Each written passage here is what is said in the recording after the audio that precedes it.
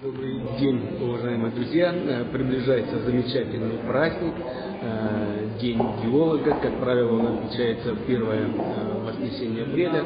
В этом году 1 апреля это воскресенье.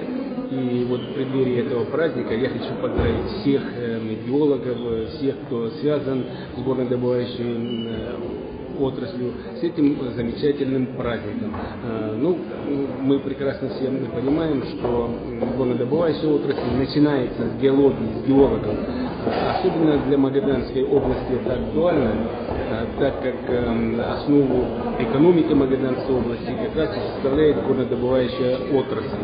Э, Для Магаданской области, опять же, этот год является юбилейным, потому что 90 лет назад была осуществлена первая экспедиция э, Юрия Александровича Белидина, с чего и э, началось развитие горнодобывающей отрасли э, в Магаданской области.